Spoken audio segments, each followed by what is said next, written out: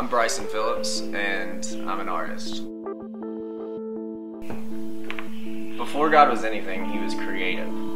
So I believe that by me being an artist and being creative, that it is the rawest forms of worship that I can show toward God.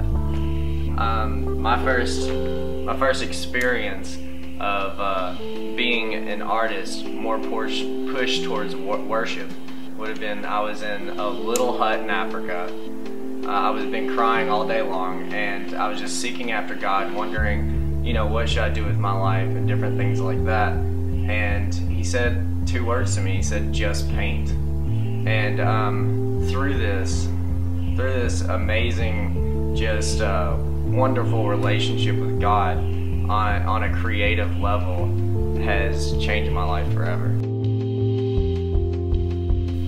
And through this relationship with God, with Jesus, um, comes comes uh, an amazing just uh, download of uh, inspiration and imagination. Um, some of the greatest gifts God could ever give us is simply to imagine and simply to be creative. I'm currently uh, traveling around to different churches, um, sharing my worship, sharing my art, sharing my passion.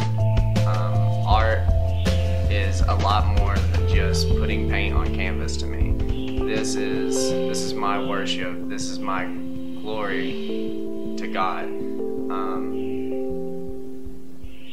being an artist is a, is just a lot more than just a lifestyle. It's a way of worship.